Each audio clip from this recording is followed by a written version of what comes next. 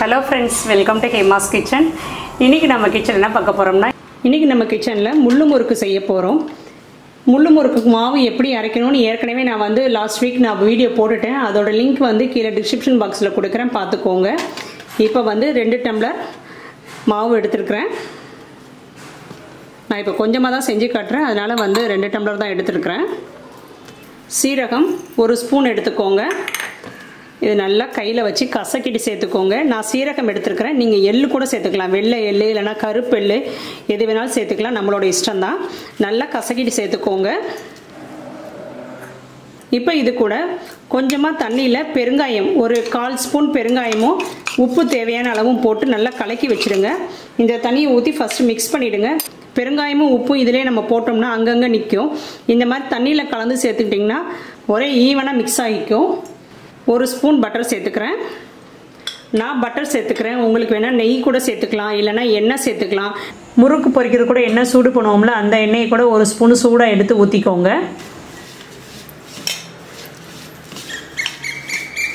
வெண்ணெய் சேர்த்துக்கிட்டோம்னா நல்லா முறுமுறுன்னு இருக்கும் முறுக்கு. இதை நல்லா மிக்ஸ் பண்ணிக்கோங்க. நல்லா மிக்ஸ் பண்ணிவிட்டு அதுக்கப்புறம் தான் தண்ணி ஊற்றி பரட்டணும்.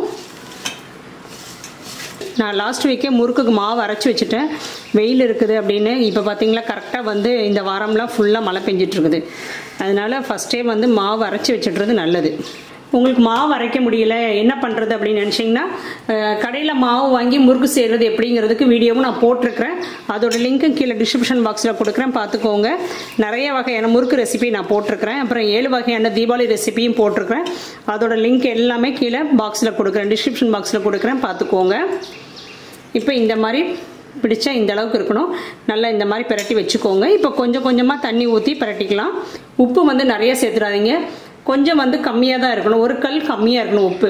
ஏன்னா வந்து வெந்து வரும்போது உப்பாக தெரியும். அதனால் வந்து உப்பு கொஞ்சம் கம்மியாக சேர்த்துக்கோங்க. காரம் உங்களுக்கு வேணும்னு நினச்சிங்கன்னா கொஞ்சமாக மிளகாத்தூள் கூட சேர்த்துக்கோங்க.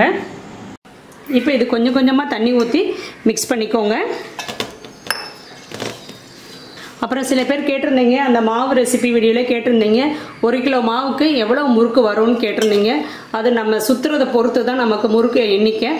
சில பேர் வந்து சின்னதாக முறுக்கு சுடுவீங்க சில பேர் வந்து பெருசாக போடுவீங்க. அது நம்மளோட முறுக்கு போடுற சைஸை பொறுத்து தான் இது நல்லா பிரட்டிக்கலாம். இந்த மாதிரி நல்லா பிரட்டி வச்சுருங்க. கையில் மாவு ஒட்டக்கூடாது அதே மாதிரி பாத்திரத்துலேயும் ஒட்டக்கூடாது. சில பேர் கேட்டிருந்தீங்க உளுந்து சேர்க்கக்கூடாதான்னு. இது முள்ளு முறுக்கு பாசிப்பருப்பு தான் போட்டு செய்யணும். உளுந்து போட்டு செய்கிற முறுக்கு வந்து ஏற்கனவே நான் போட்டிருக்கிறேன். அதோட வீடியோ பார்த்துக்கோங்க. இப்போ வந்து ஒரு அரை ஸ்பூன் மட்டும் எண்ணெய் ஊற்றி இந்த மாதிரி பிரட்டி வச்சுக்கலாம். ஏன்னா வந்து மாவு வந்து ட்ரை ஆகாமல் இருக்கணும். அதுக்காக வந்து இந்த மாதிரி பிரட்டி வச்சுடுங்க. மாவு ரொம்ப டைட்டாக இருந்துச்சுன்னா நமக்கு பிழியறது கஷ்டமாக இருக்கும். அந்த வந்து விழுந்துடும். ரொம்ப லூஸாகவும் இருந்துச்சுன்னா எண்ணெய் குடிக்கும். அதனால் வந்து பார்த்துக்கோங்க எப்படி இருக்குன்னு காட்டுறேன் பாருங்கள் இந்த மாதிரி இருக்கணும். இப்படி இருக்கணும். அப்போ தான் நமக்கு ஈஸியாக இருக்கும். பிழியறது கஷ்டம் இல்லாமல் பிழிஞ்சிடலாம் இப்போ இது ஒரு ரெண்டு நிமிஷம் ஊறட்டும். அதுக்குள்ளே நம்ம ரெடி பண்ணிடலாம் எண்ணெய் ஊற்றி எல்லாம் ரெடி பண்ணிடலாம் அது வரைக்கும் மூடி வச்சுக்கிறேன். இல்லைனா மாவு காஞ்சிடும். இப்போ இந்த மூணு ஸ்டார் இருக்கிற முறுக்கு அச்சு எடுத்துக்கோங்க. இல்லைனா இந்த மாதிரி ஒரு ஸ்டார் இருக்கிற முறுக்கு தட்டு கூட எடுத்துக்கோங்க. இது எதுவுமே இல்லைன்னா சாதாரணம் நம்ம செய்கிற தேன்குழல் அச்சு வச்சு கூட நம்ம செஞ்சுக்கலாம். நீங்கள் முறுக்கு செஞ்சுட்டு செஞ்சு முடிச்சிட்டிங்கன்னா இது இந்த இது தனியாக கலட்டிட்டு இந்த இந்த இதுலேயும் இதுலேயும் எண்ணெய் தடவி தனித்தனியாக பிரித்து வச்சுடுங்க. ஒன்றா சேர்த்து வச்சிடாதீங்க. ஜாம் ஆகிடும் உங்களுக்கு திறக்க முடியாது. நான் அப்படியே வச்சுட்டேன். மறந்தாப்பில். பாருங்கள் அப்படியே ஜாம் ஆகிடுச்சு நாங்களும் எவ்வளவோ ட்ரை பண்ணி பார்த்தோம். ஓப்பன் பண்ணவே முடியலை. அப்புறம் தான் கடைக்காரங்க சொன்னாங்க. செஞ்சு முடிச்சுட்டு இந்த இதுலேயும் இதுலேயும் நல்லா எண்ணெயை தடவி தனித்தனியாக பிரித்து வச்சுடுங்க. ஒரே கவரில் இதிலே போட்டு அப்படியே வச்சுடுங்க. அப்போ தான் நமக்கு வந்து நெக்ஸ்ட் டைம் யூஸ் பண்ணுறதுக்கு ஈஸியாக இருக்கும். இல்லைனா ஜாம் ஆகிடும் இப்போ இந்த இதில் வந்து நம்ம உள்ளே எண்ணெய் தடவிக்கலாம். அப்போ தான் நமக்கு மாவு வந்து ஈஸியாக வரும். இதுலேயும் இதுலேயும் நல்லா எண்ணெய் தடவிக்கோங்க. இப்போ இந்த அளவு மாவு எடுத்துக்கோங்க. அதை எடுத்து இந்த மாதிரி இதில் வச்சுட்டு இது மேலே இதை வச்சு மூடிடலாம். எண்ணெய் காய வச்சுக்கோங்க. எண்ணெய் காய வச்சதுக்கப்புறம் தான் இதெல்லாம் செய்யணும். இந்த மாதிரி ஒரு கரண்டி எடுத்துக்கோங்க. அதில் வந்து எண்ணெய் தடவிக்கோங்க. எண்ணெய் தடவிக்கிட்டால் தான் ஒட்டாமல் வரும். உங்களுக்கு முறுக்கு எந்த சைஸு வேணுமோ அந்த அளவுக்கு நீங்கள் வந்து பிழிஞ்சிக்கோங்க.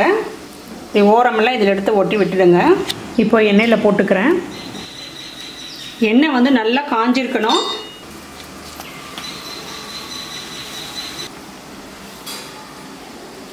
சில பேர் அதிலேயே பிழிஞ்சிடுவாங்க. அப்படி பிழிய உங்களுக்கு முடியும்னா அப்படி கூட செஞ்சுக்கலாம். இந்த மாதிரி செஞ்சிங்கன்னா தான் உங்களுக்கு சேஃப்டி எண்ணெய் எவ்வளோ கொள்ளுதோ அந்த அளவுக்கு மட்டும் நீங்கள் வந்து முறுக்கு போட்டுக்கோங்க. நிறைய போட்டிங்கன்னா எண்ணெய் உரியும் வேகாது சொத சொதன்னு ஆகிடும் நல்லா மினிமம் ஹையில் வச்சுக்கோங்க. சிம்மில் வைக்கக்கூடாது ஹைலேயும் வைக்கக்கூடாது.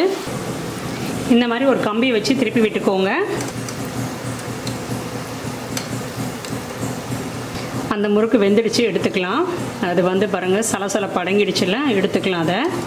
இந்த மாதிரி ஒரு வடித்தட்டில் போட்டு எடுத்துக்கோங்க. எண்ணெய் வடியட்டும். முள்ளு முறுக்கு வந்து இந்த மாதிரி தான் இருக்கும். நம்ம தேன்குழல் செய்யும் போது ஒரே ஈவனாக இருக்கும்ல அந்த மாதிரி இருக்காது. இந்த முறுக்கு இந்த மாதிரி தான் இருக்கும். இப்போ எல்லா முறுக்கையும் இதே மாதிரி நான் போட்டு எடுத்துக்கிறேன். பாருங்கள் எப்படி கலர்ஃபுல்லாக இருக்குது பார்த்தீங்களா இப்படி இருக்கும் கோல்டன் கலரில் பார்க்குறதுக்கே சூப்பராக இருக்கும். இப்போ நம்ம முள்ளு முறுக்கு சூப்பராக ரெடி பண்ணிட்டோம். இப்போ நான் அதை சாப்பிட்டு காட்டுறேன். எப்படி மொறு மொறுன்னு இருக்குதுன்னு பாருங்கள்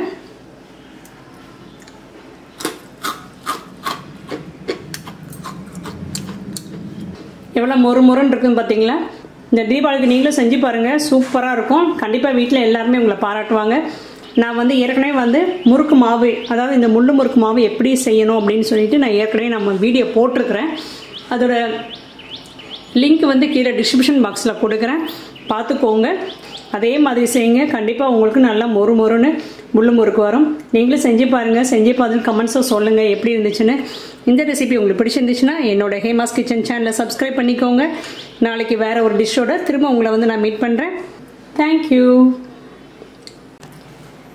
நல்லா இந்த மாதிரி ஏர்டைட் சம்பத்தில் போட்டு வச்சுருங்க. அது பாட்டுக்கு ஒரு ஒரு வாரத்துக்கு நல்லாயிருக்கும் இப்போ ரெண்டு டம்ளர் போட்டோம்ல. அதுக்கு வந்து பதினஞ்சு இருபது முறுக்கு வரைக்கும் வந்திருக்குது.